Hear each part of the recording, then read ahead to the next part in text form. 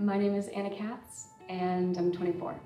The hardest thing for me was being true to myself.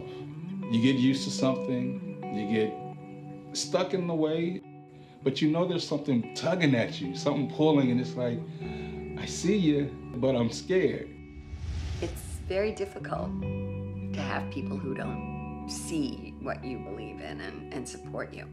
You know, there's people that make it. How many people make it in that art community? You tell me. I decided I'm gonna paint full time. I used to really love it.